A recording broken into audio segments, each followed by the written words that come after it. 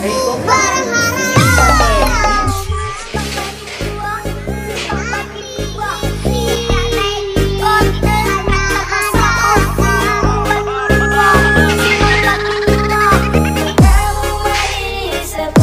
gula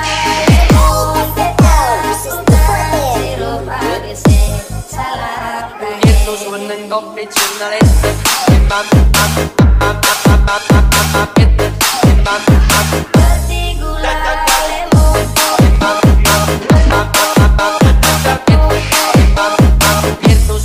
up, it's journalist. Man.